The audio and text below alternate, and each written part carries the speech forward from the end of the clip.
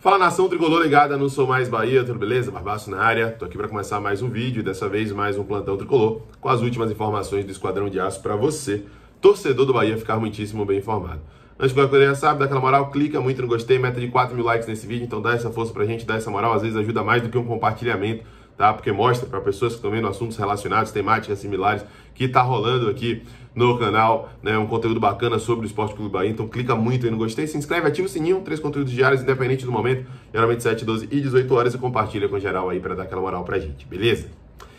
Galera, a primeira informação do nosso plantão tricolor de hoje. Guto Ferreira concedeu entrevista coletiva após a partida de ontem e trouxe à tona novamente algumas desculpas, alguns pontos que ele acredita que são determinantes para que o Bahia não esteja num bom rendimento. Falou sobre algumas situações específicas e respondeu de maneira geral aí à imprensa do Bahia, da Bahia, após a partida contra a equipe do Barcelona de Léus, em que o Bahia teve mais um vexame, mais um resultado deplorável, bizarro e além disso uma performance muito abaixo, né? Assim como uma postura vergonhosa.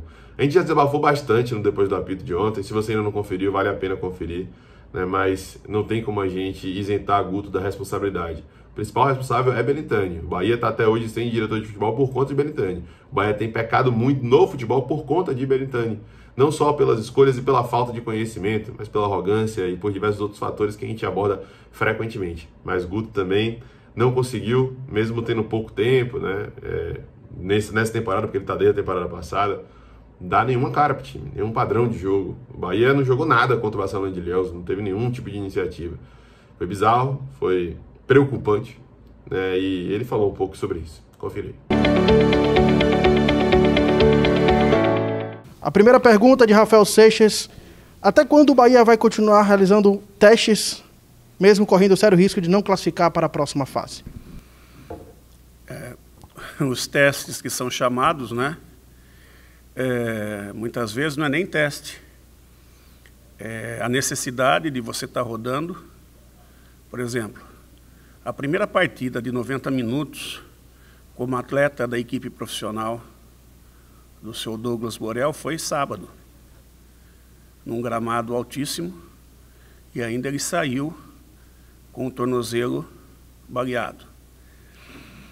Uh, nunca tinha jogado 90 minutos na equipe principal. E até que ele adquira um lastro, nós temos que jogar com ele para que ele não se lesione. Porque se ele se lesionar, ele vai perder mais tempo para chegar nesse estágio que nós estamos buscando com ele. E assim como ele, outros jogadores. Marcelo Cirino ainda não tem condições de jogar 90 minutos. Há três jogos atrás, ele estava buscando jogar 45. Agora ele já está jogando quase 70 minutos. Tudo é um processo de um jogador de qualidade que vai nos ajudar muito. O momento dele ainda não está. Está bastante aquém do potencial dele. Mas para um cara que ficou 16 meses parado, é assim. E se você não oportunizar, não tem como você é, é, readquirir a condição de jogador diferenciado que ele é. Então, não só ele, como outros nessa situação. Tivemos recentemente o caso de Covid também, é, do Luiz Otávio, do Patrick. Né? Então, o que parece ser é, rodízio, algumas vezes é rodízio sim. Né? E o que parece ser teste, muitas vezes não é teste, é necessidade. Pergunta de Douglas Santana. Guto, o Bahia está em reconstrução barra começo de temporada, mas sabemos que futebol é bola na rede. Já são duas derrotas seguidas e uma vaga ameaçada no Baianão. O que fazer para melhorar a situação e recuperar, recuperar a confiança do torcedor? É, a confiança do torcedor só vai ser melhorada com resultados. Isso aí não tem jeito. Né? E melhoria da equipe, você veja, hoje nós tivemos oito finalizações contra uma, em gol, contra uma do adversário. O adversário venceu por 1 a 0. Nas duas partidas agora que nós fomos derrotados, nós tivemos, antes dos cinco minutos, uma bola dentro da área pequena, com chance de gol, que nós não tivemos a felicidade de fazer o gol. Aliás, no jogo de sábado, nós tivemos é, dois lances de gol dentro de área pequena. Um do Marco Antônio e um do Ronaldo. Né? E hoje, o, aliás, três, né? Que teve o Rodadiga no segundo tempo também. E hoje o Rodadiga, é, de novo, chegou um pouquinho atrasado na jogada. Né? Então, é, é, ter um pouquinho mais, ser um pouquinho mais feliz nessa situação de poder encaixar o lance e fazer os gols, porque o mais difícil que é criar, nós estamos criando. Pergunta de Ulisses Guto: o que faltou para o Bahia passar pelos problemas de início da temporada e se impor diante dos seus adversários? Você acredita que está na hora de alguns jogadores darem resposta em campo? A gente quer sempre que todos os jogadores dêem resposta desde o primeiro momento.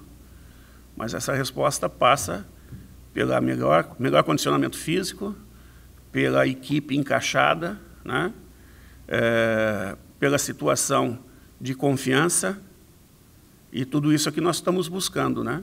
E os resultados, os resultados que faz com que o, o a confiança suba e que os resultados é, é, sigam numa sequência de triunfos. Pergunta de Manuel Petitinga. Guto, você continua fazendo rodízio no time. Isso é porque você ainda está longe de encontrar aquilo que você pretende em termos de formação inicial, dos 11 iniciais? Não, eu não estou longe, não. Eu estou bastante perto e acho que é, a situação é, eu acabei de explicar a, duas, duas respostas anteriores, que é a questão de necessidade, né, é, nesse momento, de buscar o melhor condicionamento dos atletas. É, e jogar com a situação de que muitas vezes é melhor o atleta descansado do que o jogador com mais qualidade cansado. Né? Então, equilibrar a equipe e equilibrar características.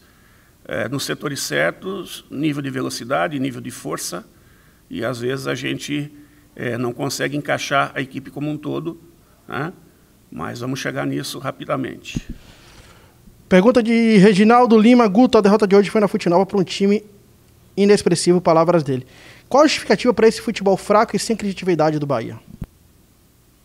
A opinião dele, né? A opinião dele. É, nós não estamos felizes com o resultado. É, nós precisamos melhorar, sim. Né? E vamos melhorar. Vamos trabalhar para melhorar. Guta, pergunta de Nilson Luiz. Hoje o mau futebol foi devido à parte física ou o adversário foi superior e mereceu vencer?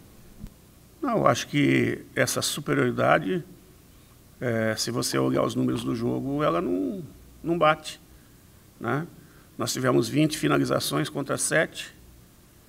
É, nas 20, nós fizemos 8 dentro do gol, mas a bola não ultrapassou a linha. E eles tiveram uma que a bola ultrapassou a linha. É, se você analisar posse de bola, né? é, enfim, os lances que fazem, é, é, é que é, dão oportunidade a, a fazer a diferença do jogo, que é o gol, nós tivemos. Nós não tivemos o gol. E eles tiveram um lance que eles fizeram a diferença. Pergunta de Jefferson Domingos. Guto, mesmo com a falta de um meio de ligação no elenco, você acredita que esse time deveria jogar mais? É, o jogar mais é o que a gente vem buscando. Agora, é, o jogar mais passa por vários fatores, e o principal deles é a técnica apurada o entrosamento né, é, da equipe. À medida que você vai achando a equipe, com certeza, achando o que eu digo é encaixando a equipe, é, com certeza a equipe vai ter condição de jogar mais. Pergunta de Marcos Valença, as últimas três perguntas. A falta de criatividade do time no jogo de hoje está atrelada ao ritmo de jogo ou à falta de qualidade do grupo? Então, é, é, é eu acho que a palavra criatividade ela está sendo usada novamente de uma maneira é, que eu não concordo. Porque criatividade, nós tivemos N passes na entrada da área, em condições de giro, e nós tivemos giro e pecamos na finalização. Né? É, nós tivemos troca de passes dentro da área ali, é, entramos pelos lados, entramos por dentro. Eu acho que o, fator, é, o que faltou foi essas chances criadas, essas oito chances criadas, pelo menos duas entrar, nós tínhamos, teríamos ganho o jogo. Né? Então, é, é, volto a falar, nós não estamos felizes com o resultado. Não estamos felizes com o desempenho. Em se tratando de Bahia, nós temos que ter um desempenho melhor. Mas a análise do jogo, acho que não é tão é, é, é, 8 ou 80 assim. Eu acho que ela, ela fica um pouquinho acima do 8. Pergunta de Marinho Júnior. Como explicar um time sem padrão e que não evolui a cada rodada? Busca de padrão. Busca de padrão. É uma equipe nova, né? é uma equipe que está se estruturando. É, praticamente é, treino da, do grupo já não existe mais, nós só estamos jogando, né? e a necessidade de estar o tempo todo trocando para poder é, não lesionar o jogador e fazer com que o jogador evolua. E essa é a busca do melhor encaixe da equipe dessa maneira.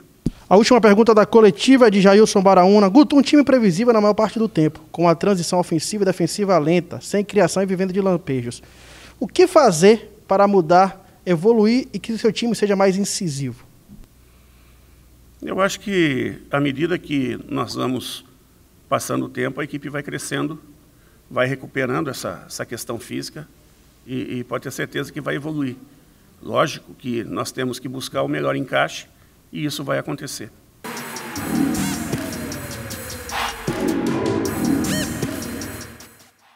Galera, outra informação no nosso plantão tricolor de hoje é sobre um possível novo patrocinador do Esporte Clube Bahia um dos responsáveis pela Moura do B Engenharia, né, empresa aí que trabalha nesse ramo da engenharia, falou sobre patrocinar, ter parceria com três clubes nordestinos, Bahia, Esporte e Ceará.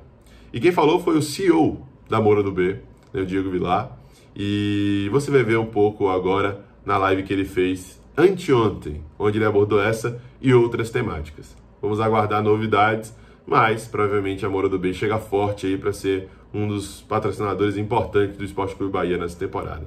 E o Bahia tá precisando, viu? Veja aí. Alguns comentários que, que você acha pertinente sobre o papo que a gente bateu. Bacana. Aos nossos torcedores, a, a, a gente decidiu apoiar três grandes clubes do Nordeste. A gente não é uma empresa mais só pernambucana, é uma empresa nordestina, muito mais do que só pernambucana.